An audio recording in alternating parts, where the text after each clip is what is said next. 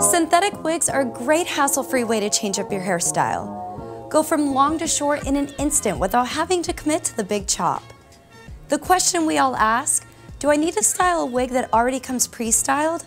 Pre-styled wigs don't need much work. However, if you want to change up your part or add some flair, here are some tips to get the best results. Start with a wig pinned to a canvas wig head, so you have a 360 degree view of what your style looks like.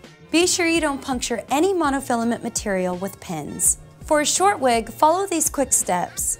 Spray the wig with water to make styling easier.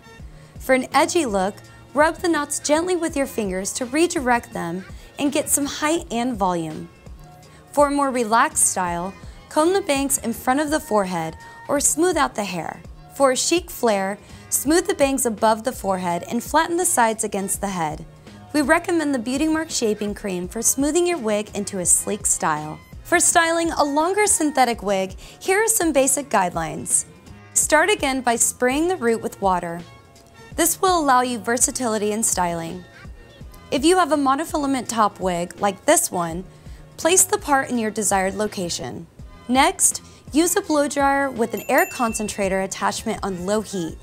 Dry the roots towards the back of the wig until they are in your desired location. Any heat higher than low may burn the synthetic fiber. Brush out the lengths of the hair with a wide tooth comb and you're ready to go.